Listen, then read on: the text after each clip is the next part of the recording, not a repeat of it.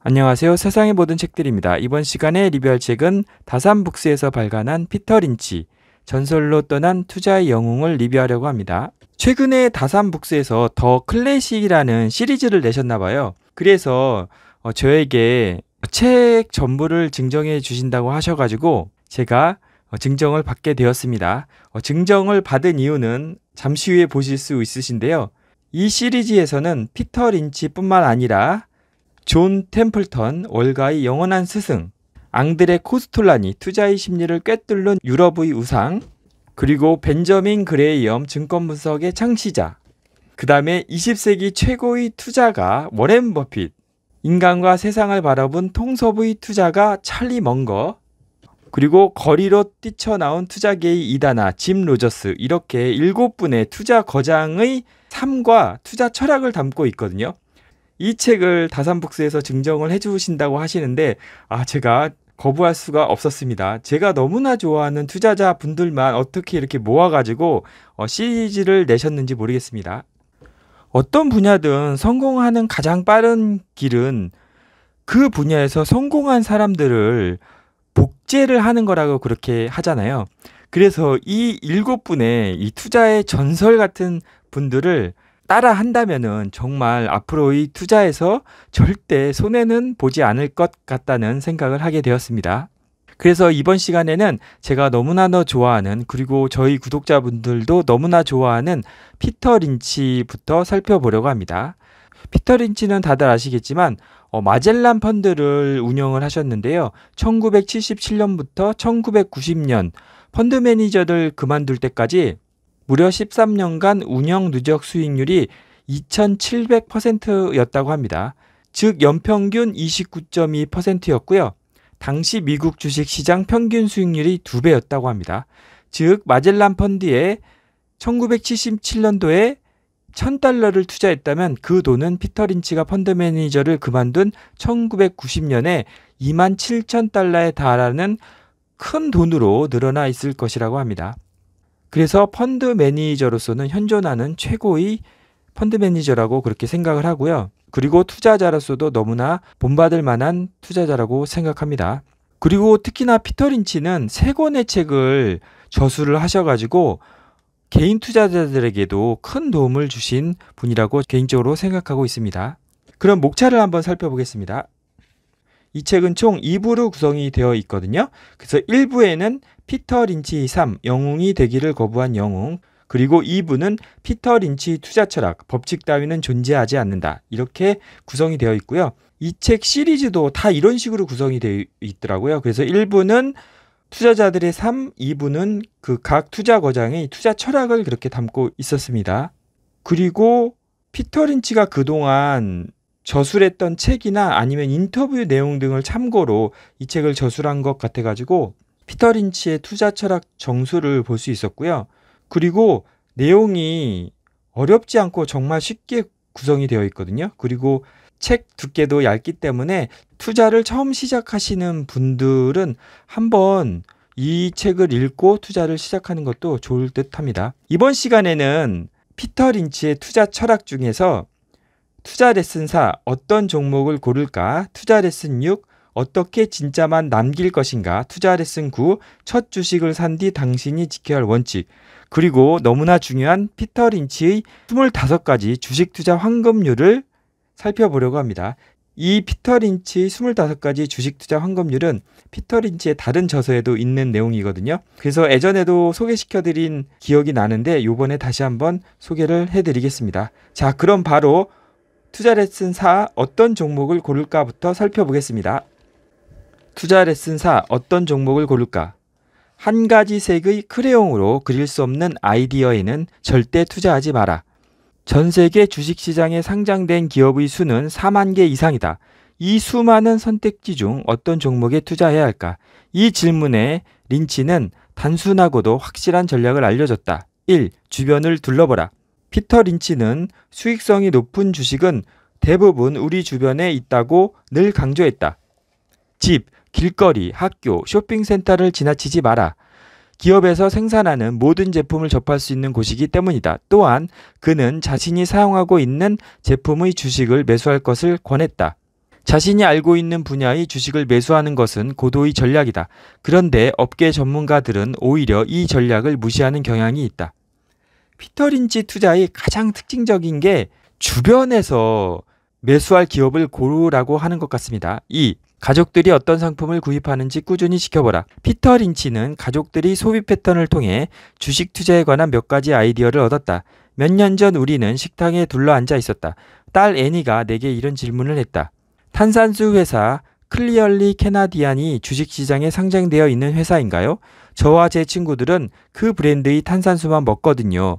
이 말을 들은 뒤 나는 한참이 지나서야 바로 클리얼리 캐나디안에 대한 지표 분석을 통해 오랜 기간 보유해도 될 만한 종목임을 확인했다. 린치는 애니의 말을 듣고 곧장 뉴욕 증권거래소에서 클리얼리 캐나디안이라는 종목을 찾았다. 하지만 아무리 검색해도 나오지 않자 그냥 잊어버렸다. 그런데 나중에 아주 후회할 일이 생겼다. 클리얼리 캐나디안은 캐나다 주식시장에 상장되어 있었던 것이다. 1991년 클리얼리 캐나디안이 상장되는 주가는 1년 만에 3달러에서 26.75달러로 폭등했다. 이 주식은 사실 nine bagger, 즉 주가가 9배 상승한 주식이었던 것이다. 린치는 아내 캐럴린에게서도 주식 투자에 관한 신선한 아이디어를 얻었다. 아내는 늘 레그스라는 팬티 스타킹만 고집했다. 처음에 나는 그 제품이 주부들 사이에서 얼마나 인기가 많은지 실감하지 못했다. 레그스 팬티 스타킹은 헤인즈라는 제조사가 만든 저렴하고 튼튼한 스타킹이었다. 그런데 헤인즈는 백화점에 입점하는 고급 브랜드가 아니라 주로 식료품점 등 동네 가게에 입점하는 저가 브랜드였다. 그 덕분에 레그스 스타킹은 종종 동네 마트에 들러 장을 보던 캐럴린에게는 무척 익숙한 제품이었다. 하지만 나는 그 제품을 발견할 기회가 전혀 없었다. 당시 레그스는 출시된 지 2에서 3년 만에 전국의 어느 마트에서나 찾을 수 있는 엄청난 베스트셀러가 되었다. 나는 헤인즈라는 기업이 뉴욕 증권거래소에 상장되어 있다는 사실을 알게 됐고 당장 투자했다. 3. 단순한 제품을 판매하는 회사에 투자하라. 오렌 버핏과 마찬가지로 린치도 자신이 잘 아는 회사나 제품에 투자하는 것을 선호했다.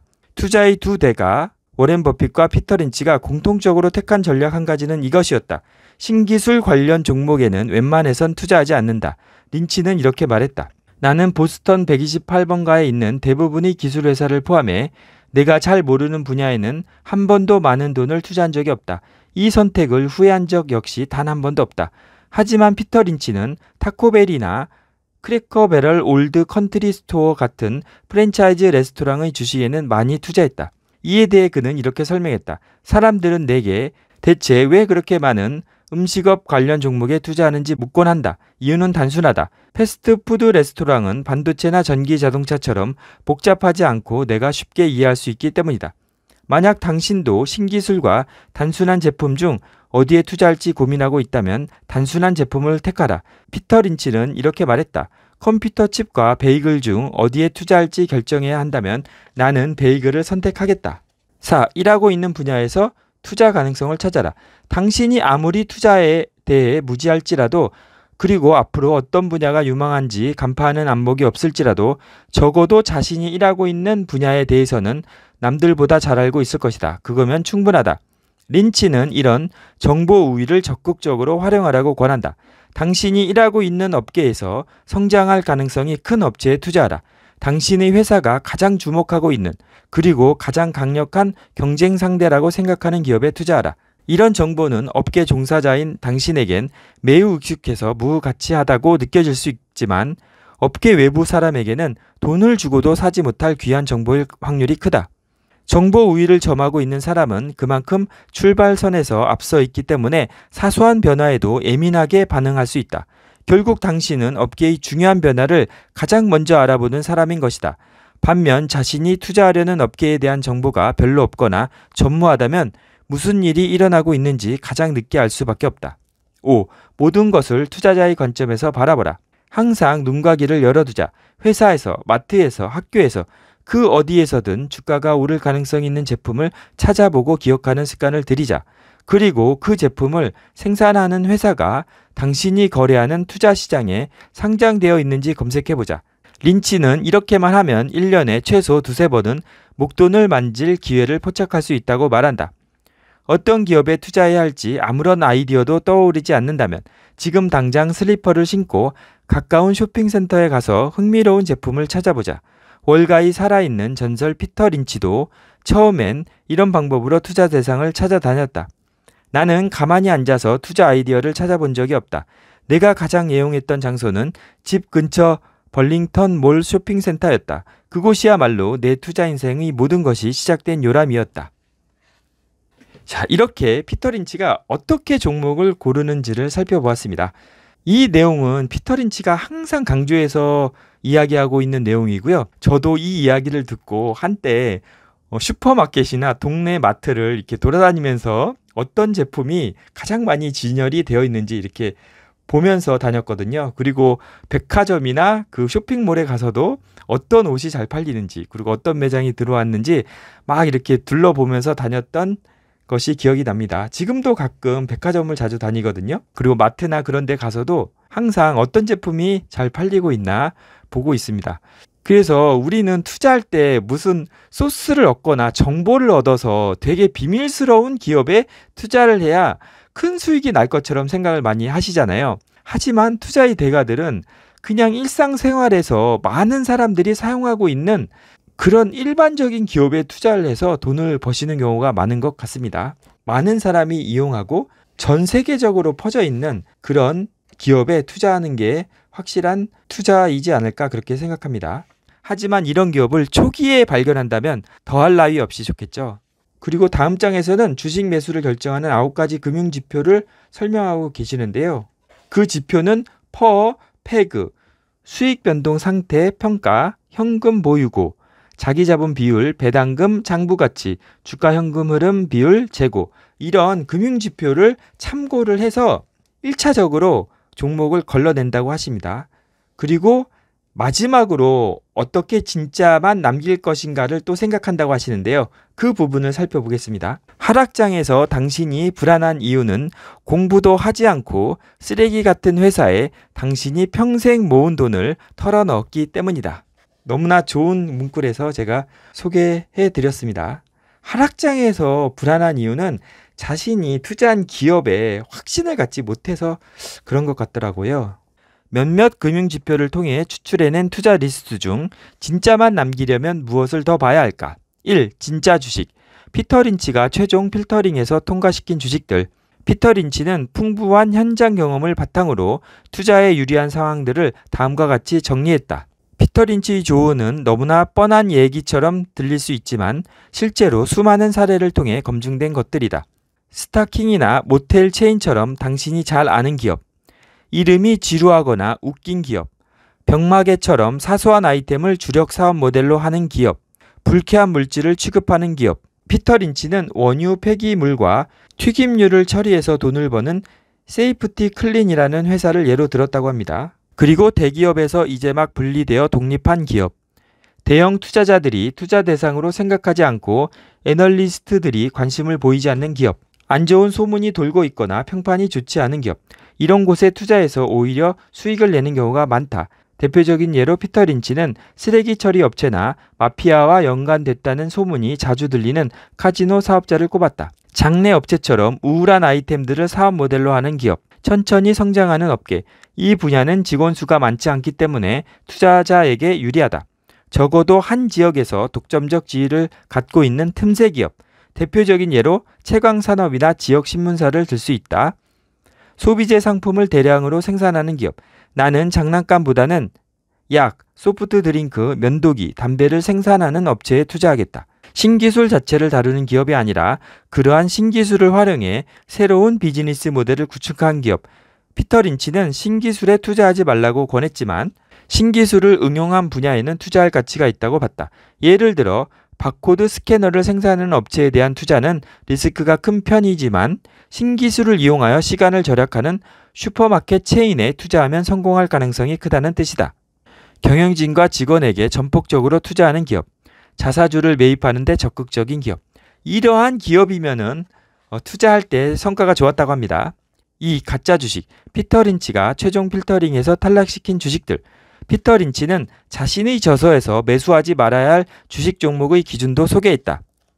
핫한 업계의 핫한 주식, 화려하게 광고하고 모든 투자자가 거론하는 주식은 피하라. 피터 린치는 이렇게 말했다. 이것만은 반드시 사야 한다. 식의 조언은 가장 먼저 무시해야 하는 조언이다. 뉴 애플 주식, 뉴 마이크로소프트 주식 등 시장 선도 업체의 후발 주자라는 이름으로 거래되는 회사의 주식. 확장 전략을 추진한다면서 듣도 보도 못한 기업을 인수한다는 소식이 들리는 기업. 비밀 팁이라면서 음지를 통해 유통되는 주식. 인터넷 시대인 만큼 요즘에는 이런 찌라시 주식에 관한 정보가 넘쳐난다. 처음으로 주식시장에 상장되어 검증된 수치가 없는 기업의 주식. 기업 공개 주식. 고객사가 한 곳뿐이거나 소수인 납품업체의 주식. 이런 기업들은 고객에 대한 의존도가 매우 높기 때문에 공급 계약이 체결되지 않으면 심각한 문제가 생길 수 있다. 트렌디한 이름이나 표현이 붙어 있는 주식. 2000년대 초반 닷컴 버블 때 이른바 닷컴이라는 이름이 붙은 기업의 주식들이 불티나게 팔렸다. 지금은 클라우드나 카나비스라는 이름이 붙은 기업의 주식들이 맹목적으로 팔리고 있다. 참고로 카나비스의 뜻은 대마초이다. 이게 대마초가 합법화되면서 한때 대마초 기업이 인기를 끈 적이 있었는데 그것을 이야기하는 것 같습니다. 그래서 이렇게 피터 린치가 진짜 주식, 가짜 주식 설명한 것을 살펴보았습니다. 여기도 잘 보면 정말 도움이 많이 되는 내용입니다. 그리고 첫 주식을 산 뒤 당신이 지켜야 할 원칙을 살펴보겠습니다. 피터 린치는 주식 계좌를 관리하는데도 특별한 요령이 필요하다고 주장한다고 합니다. 1. 몇 개의 주식에만 집중하자. 아무 생각 없이 다양한 종목에 투자하는 것은 개미 투자자들에겐 끔찍한 일이다. 피터 린치는 개미 투자자가 주식을 매수할 때는 늘 전체를 보는 눈을 가져야 한다고 조언한다. 이는 주식을 선택하고 검토하거나 자신의 계좌에 있는 모든 주식을 정기적으로 체크하는데 많은 시간이 필요하다는 뜻이다. 피터 린치는 개미 투자자에게 가장 이상적인 주식 수까지 언급했다. 나는 소액 투자 계좌인 경우 3개의 종목에서 10개의 종목 정도에 투자하는 것이 적합하다고 생각한다. 중요한 것은 주가가 많이 오를 만한 주식들을 선택하는 것이다. 한 개의 종목에 투자하는 것보다는 10개의 종목에 투자하는 게 훨씬 더 성공 확률이 높다. 10개 중 한 개 종목만 성공해도 무승부일 테니까 말이다. 하지만 수익률은 비교도 할 수 없을 정도로 처참할 것이다. 그럼에도 불구하고 주식 투자에 성공했다는 성취감을 맛보고 싶다면 10개의 종목에 투자하는 것을 말리지 않겠다. 너무 많은 주식을 사지 마라. 주식에 관한 정보를 조사하는데 충분한 시간을 투자하고 궁극적으로는 높은 성장률을 확신할 수 있는 기업의 주식을 찾아보자. 당신이 선택한 주식이 10배거, 그러니까 10배 상승하는 주식이 될 수도 있다. 피터 린치는 이렇게 말했다. 주가가 10배 오를 만한 주식 몇 개만 찾아도 성공한 인생이다. 이 정도만 되어도 더 바랄 것이 없다. 그래서 분산 투자를 하라는 이야기를 많이 하는데 이 분산 투자가 몇 수십 개 종목을 가지고 있으라는 얘기가 아니고요. 개인 투자자는 3개에서 10종목 정도를 투자하는 게 적당하다고 합니다. 왜 그러냐면은 기업을 아주 세밀하게 알아야 되거든요. 그렇게 하려면은 세네 개의 종목을 추적하는 것도 상당히 어려운 일이라서 그런 것 같습니다. 2. 인내하며 지켜보자. 좋은 회사 주식을 샀다면 끝까지 쥐고 있어라. 확실한 주식을 찾았다면 나머지는 시장에 맡겨라. 주가가 오르든 내리든 한 가지 전략을 끝까지 밀고 나가면 장기적으로 이윤을 극대화할 수 있다. 내가 장담한다.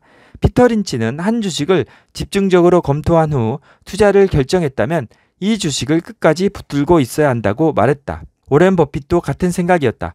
베어마켓이라고 성급하게 주식을 팔지 말자. 해당 기업의 자산 상태가 악화되지 않는 이상 주식을 끝까지 쥐고 있어라. 주식 투자로 실패하는 지름길은 겁이 나서 도망치는 것이다. 이거는 요새 시장에서 너무나 도움이 되는 내용이죠. 자신이 어떤 기업을 좋다고 해서 샀는데 그 기업의 재정 상태나 영업 상태가 전혀 나빠지지 않는데 단기적인 시장의 약재 때문에 그러니까 시장이 폭락을 하면서 같이 폭락하면 그때는 매수 기회이지 도망치는 것이 절대 아니라고 합니다. 매수할 여력이 없으면 그냥 끝까지 버티는 것입니다. 3. 포트폴리오를 정기적으로 체크하자.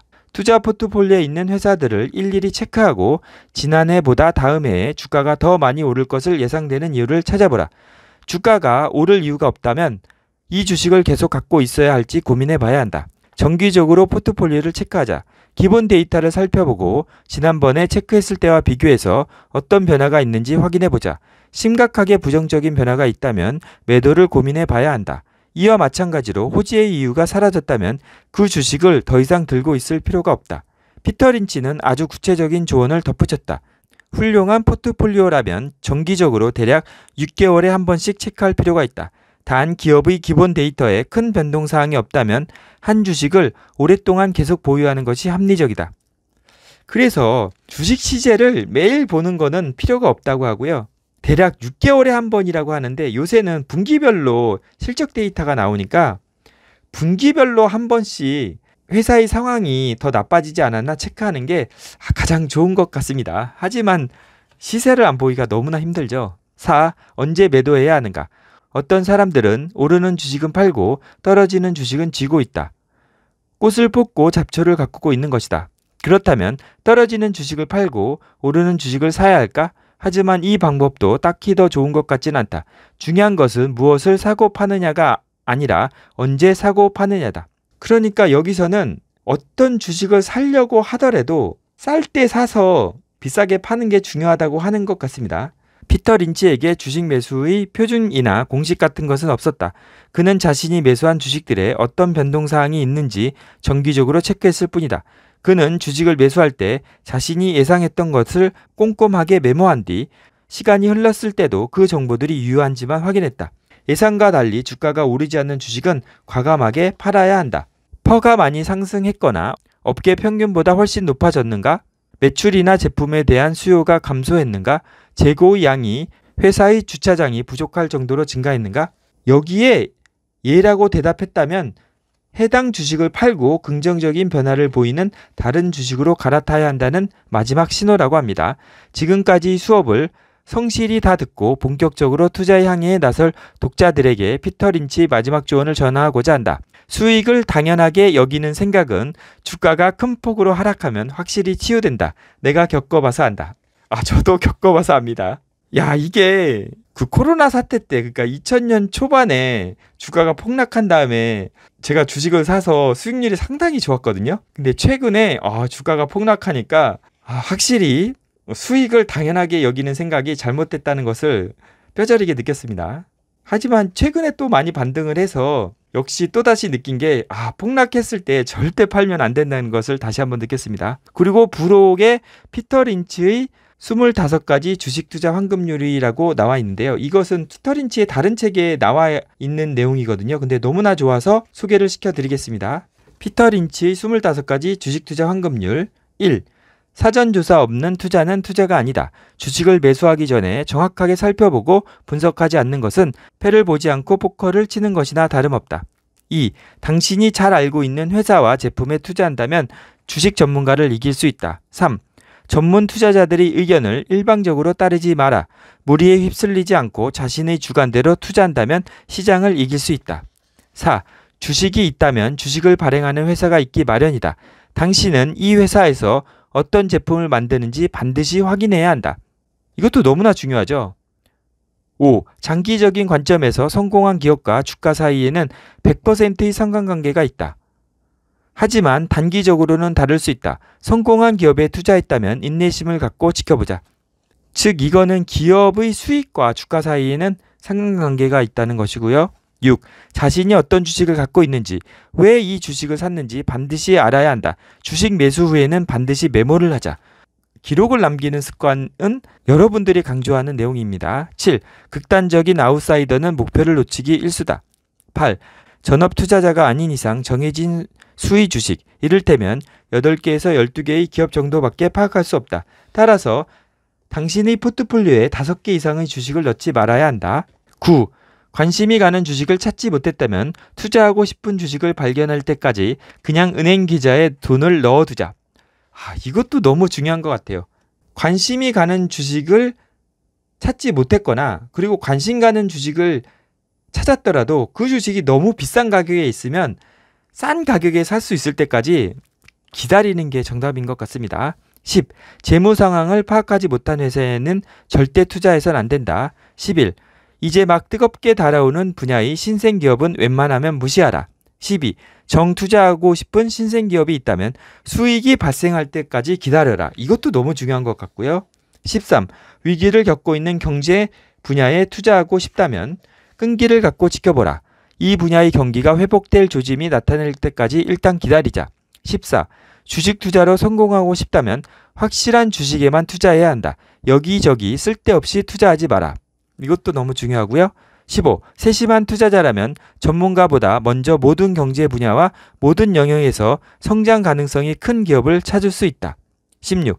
주가 하락은 심각한 타격이 아니다. 패닉에 빠진 투자자들이 앞다퉈 매도할 때 당신은 오히려 주식을 헐값에 매수할 수 있다.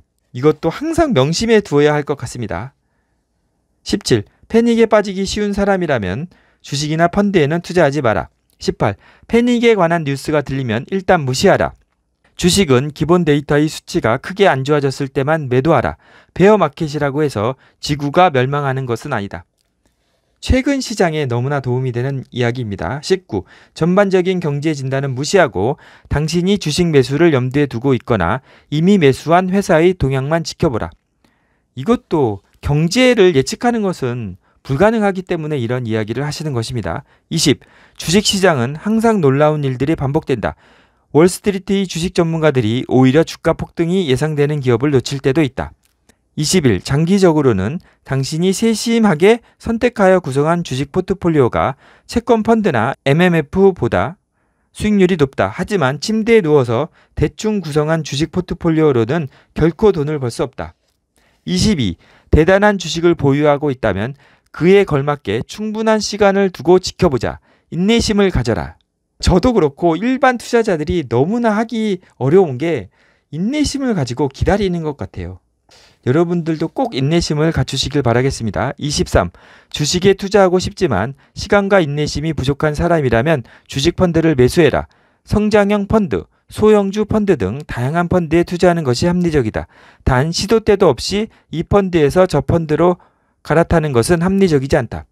최근에는 펀드도 좋지만 ETF에 투자하는 게 수수료를 줄일 수 있기 때문에 좋은 것 같습니다. 24. 해외 투자 기회를 살펴보자. 성장 가능성이 보이는 국가의 펀드에 자신의 자본 중 일부를 투자하는 것도 좋다.